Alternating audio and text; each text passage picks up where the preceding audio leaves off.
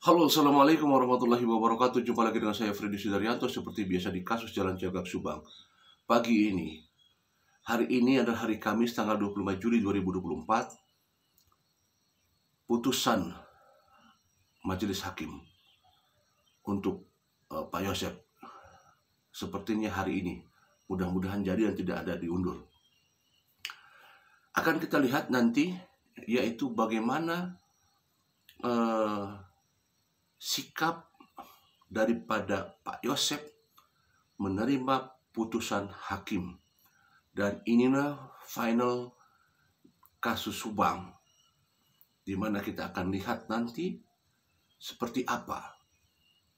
Terutama adalah bagaimana sikap pembawaan juga gestur daripada Pak Yosep pada saat menerima ponis daripada hakim. Nah, tentu jawabannya adalah masih tanda tanya. Karena kita tidak tahu ponis hakim akan menjatuhkan hukuman yang mana.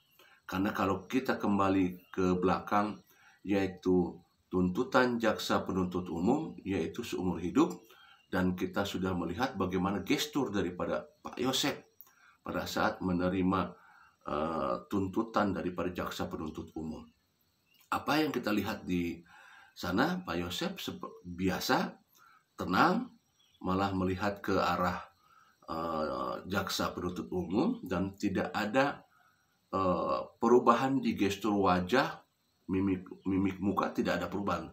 Santai tenang dan memang sepertinya sudah mengira bahwa uh, putusannya akan seperti itu. Artinya bahwa Pak sudah mengira dan itu pun memang diiyahkan oleh kuasa hukumnya, Bapak Rohman Hidayat, bahwa mereka sudah mengira jaksa penuntut umum akan seperti itu. Malah kalau kita lihat di wawancaranya, Pak Rohman Hidayat mengatakan, loh kenapa tidak hukuman mati? Malah seperti itu. Jadi artinya bahwa perkiraan uh, mereka sudah diperkirakan dan kita lihat memang terlihat dari Pak Yosep dengan uh, gestur dan uh, penampilan wajahnya ya tenang. Artinya memang sudah memperkirakan. Nah kita tidak tahu sekarang hari ini apa ponis atau tuntut uh, ponis daripada putusan uh, hakim yang mulia ya? Apakah tetap akan mengikuti jaksa penuntut umum yaitu seumur hidup ataukah akan berkurang menjadi 20 tahun? Ya ataukah akan maksimal di atas hukuman seumur hidup? Tentu ini yang menjadikan uh, apa hari-hari yang memang kita tunggu. Kalau dulu ya hukuman maksimal hukuman mati itu sering dilakukan tetapi kan sekarang ada ada uh, kuhab baru ya bahwa tidak ada hukuman mati. Nah ini juga, tetapi sekali lagi bahwa kita tunggu saja lah ya. Uh, apakah akan ada di maksimal ataukah berkurang ataukah tetap seumur hidup? Karena informasi juga kita dapat bahwa kalaupun nanti ada hukuman uh, maksimal hukum mati itu ada proses percobaan selama 10 tahun. Nah nanti sekali lagi akan kita lihatlah seperti apa ya. Tetapi memang bisa saja bahwa ponis tidak akan jauh dari uh, tuntutan jaksa penuntut umum. Biasanya seperti itu tidak jauh ya. Banyak kasus-kasus ya, kita kasus Sambo dan lain-lainnya itu tidak jauh dari uh, putusan atau tuntutan dari jaksa penuntut umum putusan majelis hakim tidak jauh. Ya, yang akan kita lihat adalah apakah nanti Pak Yosep akan biasa-biasa saja karena akan sudah mengetahui bakalan apa yang akan diputuskan oleh majelis hakim ataukah ada uh, apa namanya um, bantahan ataukah ada sesuatu hal yang tiba-tiba di luar dugaan misalkan jadi ada keluar kata-kata yang aneh-aneh, ya kita juga tidak tahu nanti kita tunggu saja seperti apa. Tapi yang jelas bahwa yang kemarin-kemarin Pak Yosef memang tenang dan uh, apa namanya tidak ada tidak ada perlawan-perlawan baik itu berupa eh, kata-kata uh, ataupun apa karena memang kita lihat selama ini memang Pak Yosef pada saat uh, di persidangan uh, kata-katanya cukup baik gitu ya. Selalu bilang terima kasih dan lain sebagainya seperti itu. Ya apa bahwa kasus Subang ini bahwa inilah kasus pembunuhan. Penghilangan ke, nyawa kedua korban. Dan kalau kita lihat daripada uh, tuntutan uh, yang seperti yang disampaikan oleh jaksa penuntut umum bahwa tidak ada yang meringankan dan kebanyakan adalah yang memberatkan.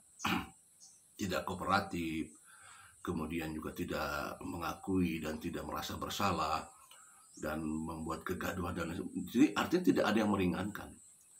Walaupun benar kata Pak Rohman Hidayat harusnya hukuman mati ya tadi saya sampaikan bahwa apakah memang akan ke arah sana? Ya sekali lagi sekali lagi bahwa ini akan kita harus menunggu semua ini gesturnya akan seperti apa Pak Yosef nanti uh, apakah ada kata-kata yang akan disampaikan menjelang persidangan nanti karena biasanya Pak Yosef kalau sudah misalkan turun dari mobil, mobil tahanan, kemudian dimasukkan ke dalam tahanan sementara.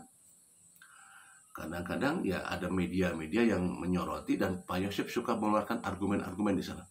Statement-statement. Nah, kira-kira apa yang akan disampaikan oleh Pak Yosef? Kira-kira ya, karena kan kalau kita lihat Pak Yosef sering mengeluarkan kata-kata di balik jeruji tahanan sementara di kejaksaan ya kepada media selalu mengeluarkan statement. Nah, statement apa hari ini? Kalau kemarin kita lihat statementnya adalah yang mengeluarkan kertas. Kertas ya yang sudah disampaikan itu. Nah kira-kira sekarang statementnya apa? Apakah masih sama mengatakan bahwa Danu uh, fitnah, memfitnah, atau mengatakan bahwa uh, ada pelaku lain, atau akan mengatakan bahwa uh, apa namanya kata-kata seribu apa namanya sering kata oleh Pak itu seribu kesalahan kebohongan akan kalah oleh satu ke, kejujuran.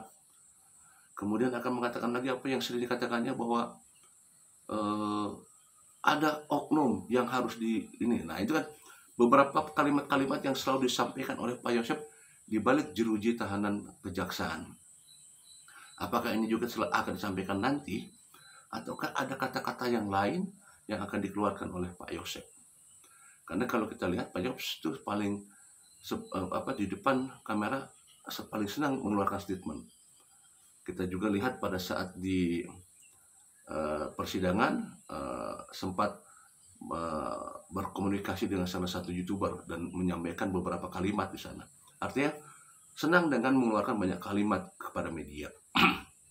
nah, apakah kali ini, apakah yang akan disampaikan oleh Pak Yosef hari ini? Itu pertanyaannya. Kita tunggu saja. Assalamualaikum warahmatullahi wabarakatuh.